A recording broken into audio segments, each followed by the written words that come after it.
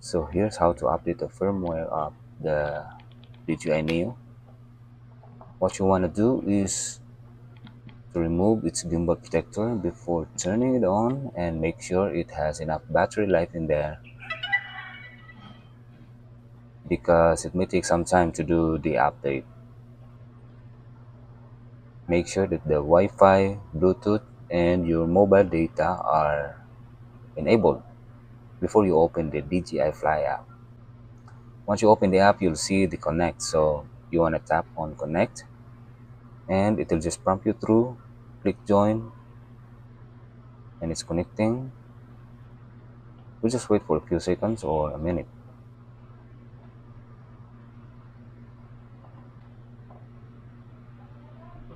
once connected you'll see these things so you want to select got it then just skip the tutorials. You can go back to the tutorials right after the firmware update.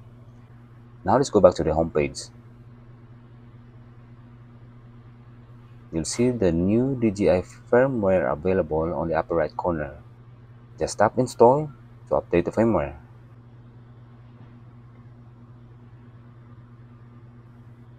While waiting to complete the update, you might want to select More to view this information including the status of the firmware update.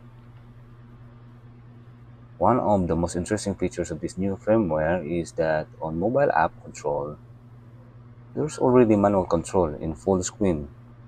I think this is essential to me since I only bought the standard package of DJI Neo without the remote controller, so now we can have the mobile app controller in full screen Alright, so now the firmware update is complete.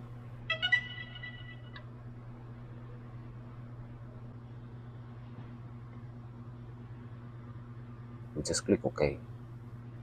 Right so you'll notice that the aircraft is turning off. Just click OK and you're gonna see the confirmation at the upper right corner of the DJI Fly app saying DJI Neo firmware update successful. Okay, let's turn on the aircraft and again connect it to the mobile phone.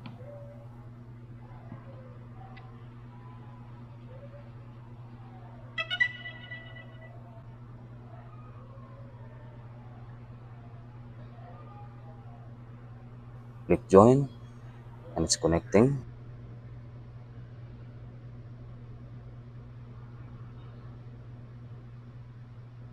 you want to select got it then you just skip the tutorials.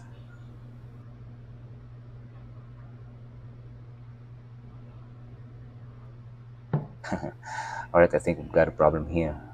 There's no full screen control in the mobile app. Okay so think let's just think think think. Hmm. Hmm? Mm-hmm hmm. Firmware is now complete but no full screen control. There must be something in here like an option to view the controller in full screen. Aha i think this app also needs an update. Let's find it out. Aha. If you're having the same problem with me, I think this is the solution. You want to make sure that the DJI Fly app is also updated. Better yet, update the app before you update the firmware. Let's turn this thing off for a moment to save some battery.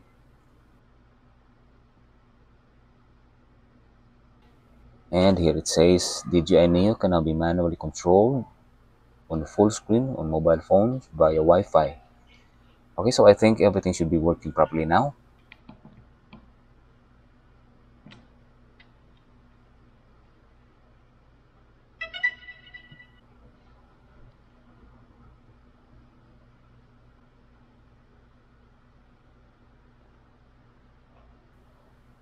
we can also use this one.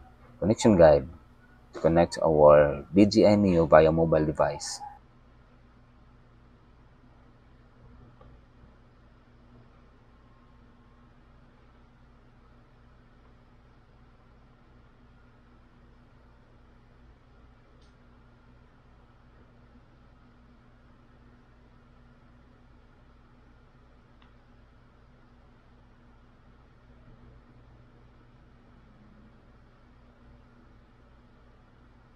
tap on got it. Skip the tutorial. Skip. Then choose manual control. Alright gotcha. We now have this little icon here in the lower right corner for the full screen control mode. Right? You got it? Take a look at that. You tap on this to take off and have a safe flight. Alright so if you like this video please give us a thumbs up and if you're new to this channel please do subscribe. Thanks for watching